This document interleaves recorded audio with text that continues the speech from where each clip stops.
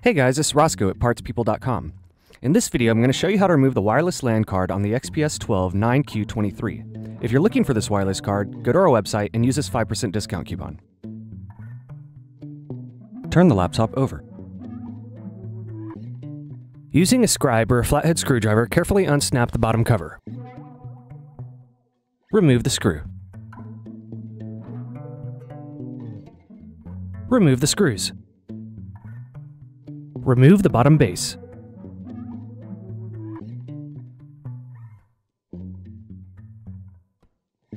Unplug the cable.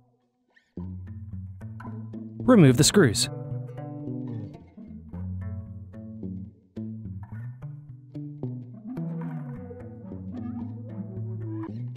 Lift the battery out of the laptop. Remove the plastic. Unplug the antenna cables.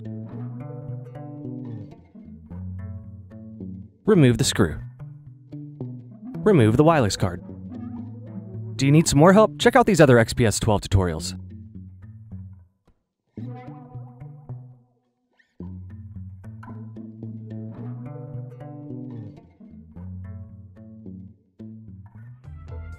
If you enjoyed this tutorial, go ahead and like the video and subscribe to our YouTube channel. Check out PartsPeople.com where we have hundreds of tutorials and hundreds of thousands of parts. Thank you for using Parts People for your video tutorials.